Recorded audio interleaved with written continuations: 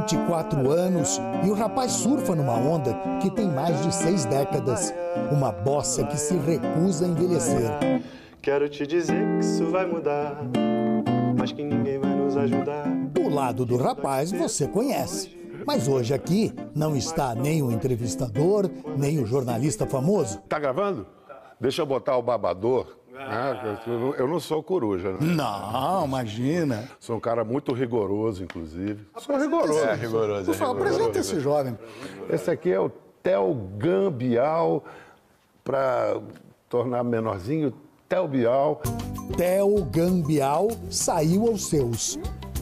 Filho de Julia Gam com Pedro Bial, nasceu com um pé no palco e outro no estúdio. E eles sempre me, lev- me levaram para o ambiente de trabalho, assim. A minha mãe também sempre me levava para as peças de teatro, para as gravações. Ela me conta que eu ficava debaixo da saia dela enquanto ela estava gravando algumas coisas. É.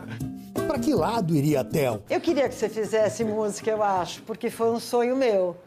Eu estudei quatro anos num conservatório, minha formação é erudita, assim. Tinha o violão e você sempre pedia para eu... Eu falava, vai tocar, Theo, vai tocar. A partir dali, só faltavam uns 10 minutinhos de prosa. Eu Acho que o Theo tinha 12, 12 para 13 anos. Eu estava fazendo um filme sobre o Jorge Maltner. E o Theo estava começando a compor, mas o Theo tinha pudores de escrever letras. Aí eu falei, "Fá, fala com o Maltner ali. Ficaram os dois 10 minutos conversando, não sei o que eles conversaram. Na semana seguinte, o Theo escreveu um monte de letras, assim, saiu escrevendo.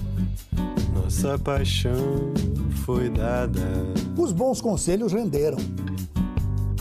e despertou o que estava ali guardado no meu Theo Bial hoje faz letra e música com forte inspiração na bossa nova e celebra o lançamento de um álbum com participações luxuosas. Tem um cara que é um grande poeta, um grande sambista, chamado Moacir Luz.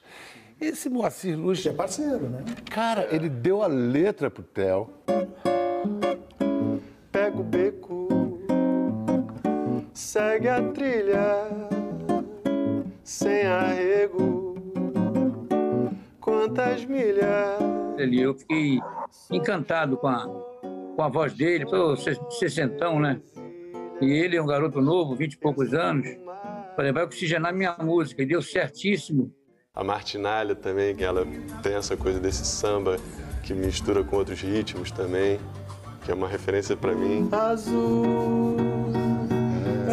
Quebra ainda realizou um sonhozinho meu que foi eu cantar, né? Assim, eu sou o maior cantor de chuveiro. Mar, espuma e sal. Pai e filho, parceiros numa nova bossa. Meus olhos querem bossa nova foi trilha de um Brasil que vinha otimista no fim dos anos 50. Como é que você vê o teu som nesse momento? Acho que primeiro de tudo, eu acho que a música ela tem esse papel um pouco de, de trazer esperança, de trazer coisas boas para as pessoas, assim. Pegando uma carona, ele me- nos faz lembrar que o Brasil também é isso. O Brasil não deixou de ser isso. Tudo bem, certos projetos fracassaram, mas a bossa nova não. Então talvez esteja pintando uma cena aí de nós resgatarmos c- certos valores que nunca deixaram de, de existir. Amanhã de todo dia vai acordar nosso amor. Me render talvez quase sem atrapalho no seu jeito de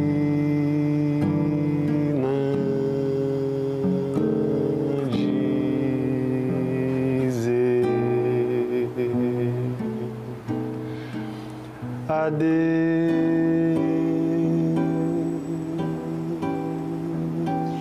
Poxa, vê esse menininho na coxia, nos bastidores. E agora é um artista, cara. É muito emocionante. Ah, tá Obrigado por ter insistido no violão.